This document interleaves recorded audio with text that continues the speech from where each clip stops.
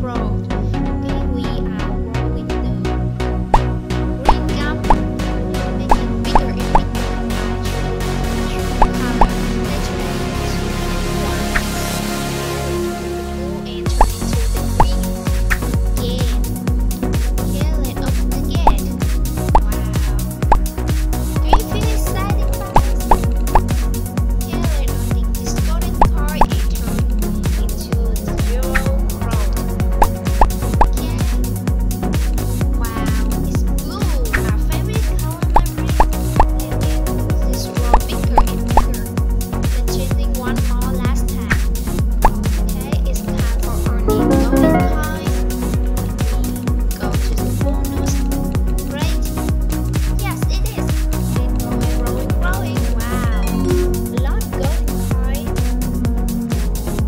Thank you for watching. See you in my next video.